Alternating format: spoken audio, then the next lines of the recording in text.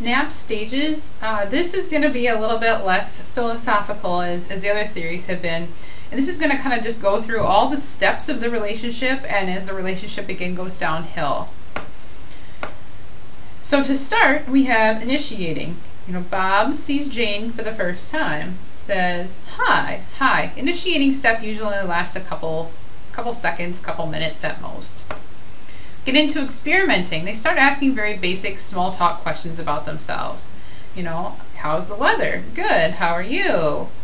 So, what's your major? Oh, chemistry. What's yours? Biology. Oh, we both are in science. Have you taken this class? It's still pretty safe topics. You may get into a little bit more personal, social level, but it's still going to be fairly safe. You're not on any sort of interpersonal level yet. And experimenting may last for quite a while. Fact, with some people, you may never get past experimenting. Intensifying is where you actually finally get to an interpersonal relationship with someone. So by the time you hit the intensifying stage with them, you spend a lot of time experimenting till you're able to predict their behavior on a psychological interpersonal level. That's the intensifying stage. When we get to integrating is really when you're a couple with that person. And it doesn't necessarily, if, if we're not talking about romantic relationships, we're still talking about a very close relationship where people would really view you as um, one wouldn't be without the other very often. So um, one of the areas that this has actually been applied to has been like in a work situation, like a work partner.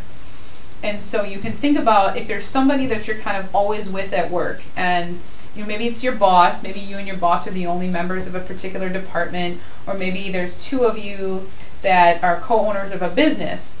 Um, you're probably very much integrated because you think of yourselves as we. What are we going to do? You work very closely with that person instead of what am I going to do. So in the integration stage, again, you think of yourselves as a we. You're sort of a couple in a sense of not necessarily a romantic couple, but a couple in a sense that um, you do things as the two of you instead of constantly doing individual things together. And people expect to see both of you there. And they think of, when they think of, you know, your position at work, they think of both of you. And in a romantic situation, you know, it's not, hey, are you coming? It's, hey, are you guys coming? Or are you two coming?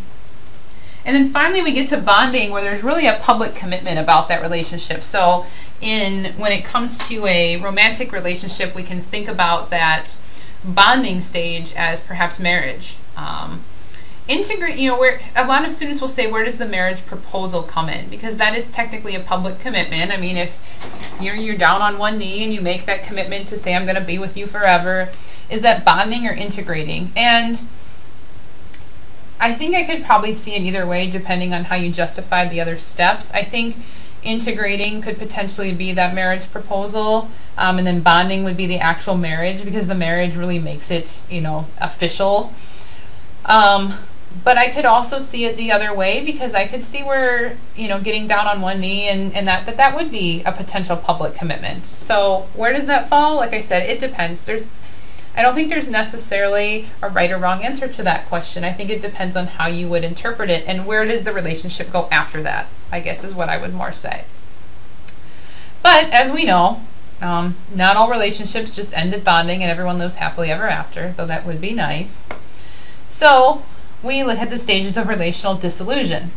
You know, say the, the, the couple had been married for, you know, several years and then differentiating, they start noticing things about each other like, you know, one the the the husband he always tends to leave the toilet seat up or um, never cleans up the mess, and the wife always leaves, say, her her um, her makeup case sitting out, or the hair straightener leaves it plugged in, and the husband always has to put it away.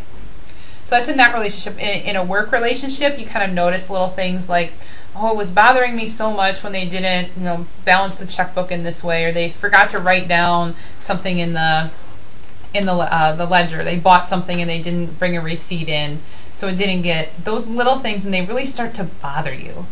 That's when you start to get into differentiating. Circumscribing and stagnating are very similar, meaning the communication changes and you're talking about just very safe topics when we get to circumscribing because there's a lot of obviously a lot of conflict in the relationship, a lot of perhaps hostility.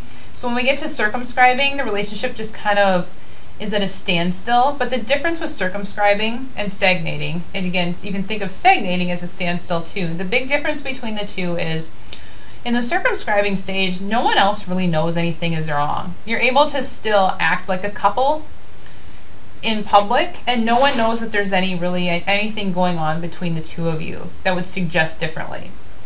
Whereas in the stagnating stage, it's pretty obvious to others that you're no longer doing very well as a couple or a business partner. Um, it becomes pretty evident to other people. So it's really how others establish or how others observe it, the difference between circumscribing and stagnating.